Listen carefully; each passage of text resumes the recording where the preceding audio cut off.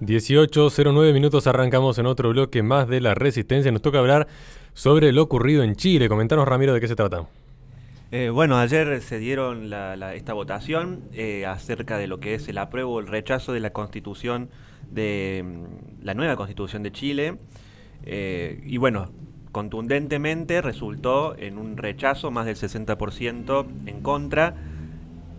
Algunos medios que apoyaban más que nada, ¿no? algunos medios izquierdistas, bueno, tratan de buscarle una, explicación a lo, a lo, que ocurrió. Resulta ser que bueno, hay, hay, de todo tipo de suposiciones y, bueno, hablan de que la estrategia de del, quien habla del rechazo, quien vota por el rechazo, fue este, dejar de lado lo que eran los comentarios que hacían al principio en su momento cuando eh, fue la, votación para convocar a la Asamblea Constituyente el año pasado y hablando de acerca de bueno, dejar de lado lo que es este, la época del pinochetista y, buscar por otro lado otra estrategia y no supieron capitalizarla por el lado eh, del apruebo. Eh, bueno, muchos famosos, muchos de la farándula, de mm, gente de los medios, digamos, eh, se expresaron como siempre, básicamente el Hollywood de, Chile y en general de, América Latina en, favor de este apruebo que resultó siendo un rechazo. Eh, muchísimas había, se había bueno, especulado porque por la cantidad de gente que había movilizado unos días antes la, esta, esta, este llamado electivo y, resultó ser mm, para algunos también un poco sorpresivo porque pero ¿qué ocurrió? Un punto importante son es que se sumaron 4.500.000 personas en total fueron asistieron eh, unos 13, 13 millones lo que no había sido, no se había dado en un principio para la convocatoria de la Asamblea Constituyente. Es decir, ahora hubo una mayor participación, eh, quizás por un mayor miedo. Voy a nombrar, este, no sé si ahora si querés decir algo acerca de esto en la parte inicial. O... Hay un punto que creo que es fundamental en ese dato, que es lo siguiente. Cuando Boric gana en su momento, igual que no solo cuando gana Boric, sino cuando incluso se plantea la, la, potestad de convocar a una junta constituyente para que establecer una nueva constitución, el nivel de abstención de, votos en Chile fue, pero histórico. Récord. Nosotros lo, hablamos en la radio de Recuerdo en su momento aquí. Fue récord la, baja tasa de emisión de votos. La gente no fue a votar, para que se pueda entender. Aquí que han visto que no ir a votar, más allá de cuando piensa el sistema democrático, tiene consecuencias. El no ir a votar tuvo la consecuencia no solo que ganase Boric, sino que gana Boric y encima se planteó una reforma constitucional.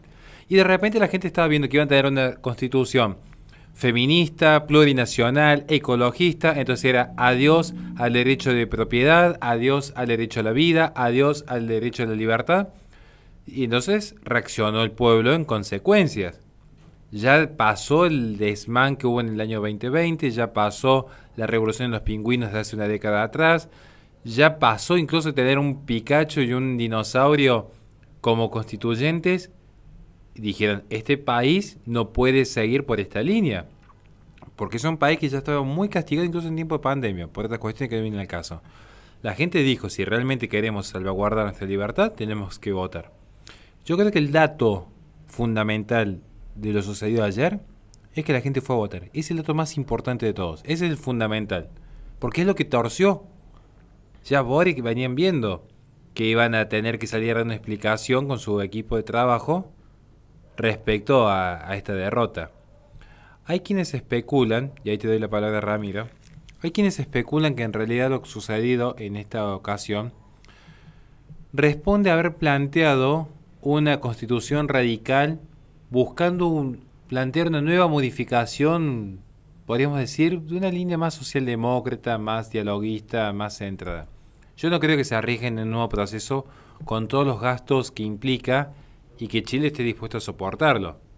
Porque, no se olviden, sigue vigente hasta el día de hoy con este, con este cuerpo jurídico que han conservado, están conservando esa idiosincrasia que muy bien supo plantear un gran intelectual como Jaime Guzmán, de las mentes más brillantes que ha tenido el continente. Alguien que todo el mundo debería leer y conocer a Jaime Guzmán. Entonces, Yo no sé si van a estar dispuestos a tolerar a corto plazo un nuevo pedido de reforma constitucional, entre comillas, más morigerada. Pero bueno, habrá que ver. Bueno, les cuento eh, más o menos algunas de las cuestiones que tenía esta nueva constitución, este proyecto. Eh, el preámbulo dice, nosotras y nosotros, el pueblo de Chile, conformado por diversas naciones, nos otorgamos libremente esta constitución acordada en un proceso participativo, paritario y democrático. Así arranca el preámbulo, nosotras y nosotros. Luego, analizando, bueno, podemos ver alguna un listado de derechos fundamentales y garantías, entre los cuales algunos me hicieron algún, algún ruido. Eh, por- bueno, acá hay una, es una lista innumerable, no vamos a nombrarlos a todos, pero una, una cantidad asombrosa de derechos, como por ejemplo derecho a ser cuidado.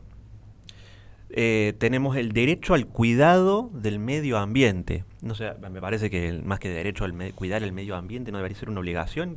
digo, y no me refiero a esto del cambio climático y del CO2, que eso sí que es una farsa. Digo, no, no arrojar papeles, no sé, al, al mar, al, al- al agua, eso debería ser una obligación. Pero bueno. No te olvides que está escrito por un dinosaurio y un Pikachu esto. Eh, claro, sí, tenemos que analizarlo desde ese punto. Eso es, un, es cierto.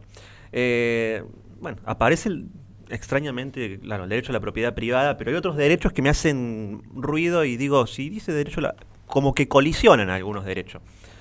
Eh, bueno, derecho a la muerte digna es uno de los que aparecen entre los derechos que se estaban buscando aprobar.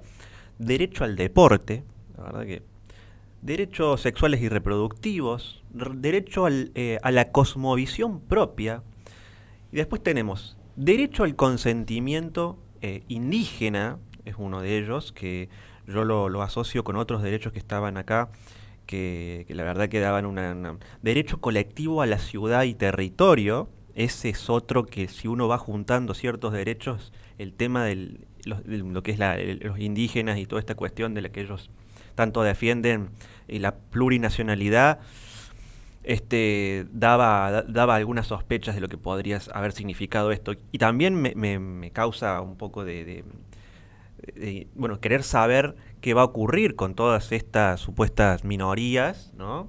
Que se vieron afectadas porque la constitución no salió y bueno, habría que ver si existe alguna, alguna represalia por parte de estos... Digo, porque Chile es como está acostumbrado a, a- a estas, revolu- estas pequeñas revoluciones. Y, claro, exactamente. Entonces, ahí se, me, se me, me hace un poco de ruido saber qué va a ocurrir en los próximos días. Quizás están asimilando esta, esta caída. Por cierto, eh, algo más que me faltó decir es que también hubo algunas críticas a Boric. Es un gobierno que tiene un, solamente un 38% de, de aprobación. Hoy tiene un, solamente un 38%. Otro derecho que voy a sumar a los que hablé recién eh, respecto a, lo, que es el indigenismo, derecho a la propiedad indígena. Esto está por debajo, luego seguido del derecho a la propiedad. Derecho a la propiedad indígena. Bueno, ¿qué hubiera pasado con todos estos derechos? Eh, derecho a la lectura. Digo, Pikachu y no sé cuál era el otro que habías nombrado. Mm. bueno, Se, se nota que no ejercen este derecho, por eso lo están pidiendo. eh, claramente, sí. Eh, derecho a la investigación, derecho al patrimonio cultural, derecho a la regeneración de la, de la naturaleza, derecho a un medio ambiente sano y equilibrado, al aire limpio. Bueno, entre, entre varios otros. Y, por cierto, acá hablando de lo que son la, la- cuestión de, la- de las minorías eh, LGBT, en este caso, esta constitución hubiera sido porque se posiciona la, violencia estructural hacia la comunidad LGBT en lugares específicos. Y si hubiera sido aprobada, sería la primera constitución, hubiera sido la primera constitución en el mundo donde se reconoce de forma explícita a esta población, a esta comunidad. Eh, garantizando la protección hacia las disidencias eh, sexuales genéricas y como, bueno, ningún país en el mundo. Y a mí me causó, bueno, esto eh, es preocupante lo que se iba en cierto punto mm, uno piensa, claro, la- la- la- 13 millones fueron los que asistieron en una población de 19, bueno, hubo un compromiso bastante fuerte en este caso y una, una- una participación de 4 millones y medio más de personas que habrán visto eh, lo que se estaba por aprobar y, y- y les ganó el espanto, me parece. Eh, pero que me parece que es así, no sé, Sí, sí, no, no, sí. completamente de acuerdo. Eh, digo, el dato, acá el dato del día es la gente que fue a votar es abismal la diferencia. Y creo que está incluso en un récord histórico nuevamente de gente que sí fue a votar en Chile, donde no es obligatoria la, la votación como en otros países del mundo como Argentina. Lo que dicen que es la constitución de Pinochet, que es una constitución de yo cierro con esto. O sea, acá ya fue más democrático imposible. Acá, acá ni siquiera había partidos de fondo. Acá era incluso la forma en la que se elegían los constituyentes. eh, tenía una particularidad que no, no necesitaban responder a un partido político.